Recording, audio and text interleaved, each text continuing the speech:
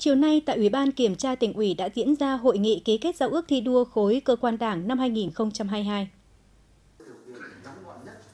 Sau khi thảo luận, các đại biểu đã thống nhất nội dung giao ước thi đua năm 2022 trong khối cơ quan Đảng, gồm căn cứ vào chức năng nhiệm vụ được giao, các cơ quan đơn vị chủ động tích cực tham mưu cho tỉnh ủy, ban thường vụ tỉnh ủy, lãnh đạo chỉ đạo toàn diện trên các lĩnh vực. Trọng tâm là tiếp tục triển khai thực hiện nghị quyết đại hội Đảng bộ tỉnh lần thứ 22, nghị quyết đại hội Đảng toàn quốc lần thứ 13, tham mưu chỉ đạo công tác xây dựng Đảng, xây dựng hệ thống chính trị trong sạch vững mạnh, thích ứng an toàn hiệu quả trong bối cảnh dịch COVID-19 và đẩy mạnh chuyển đổi số đẩy mạnh việc thực hiện các phong trào thi đua yêu nước do Trung ương, tỉnh, cơ quan phát động,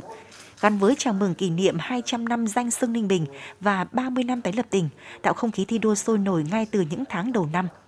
Bên cạnh đó, triển khai nghiêm túc kết luận số 01 ngày 18 tháng 5 năm 2021 của Bộ Chính trị và chuyên đề toàn khóa nhiệm kỳ Đại hội 13 của Đảng, học tập và làm theo tư tưởng đạo đức phong cách Hồ Chí Minh về ý chí tự lực tự cường, khát vọng phát triển đất nước phồn vinh hạnh phúc thực hiện chủ đề công tác năm 2022 của Ban chấp hành Đảng Bộ tỉnh, kỷ cương trách nhiệm, đẩy mạnh cải cách hành chính, tiếp tục thực hiện đổi mới, sắp xếp tổ chức bộ máy của hệ thống chính trị theo hướng tinh gọn, hoạt động hiệu lực hiệu quả, tuyên truyền đẩy mạnh việc ứng dụng công nghệ thông tin trong hoạt động của các cơ quan đơn vị, tăng cường kết nối liên thông giữa các cơ quan trong hệ thống chính trị.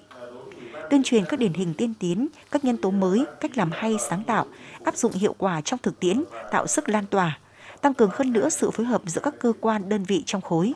quan tâm đào tạo bồi dưỡng đội ngũ cán bộ, công chức viên chức người lao động của cơ quan đơn vị có phẩm chất đạo đức, vững về chuyên môn nghiệp vụ, đáp ứng yêu cầu nhiệm vụ trong tình hình mới, xây dựng tập thể cơ quan luôn đoàn kết vững mạnh, thực hiện thắng lợi mọi nhiệm vụ được giao.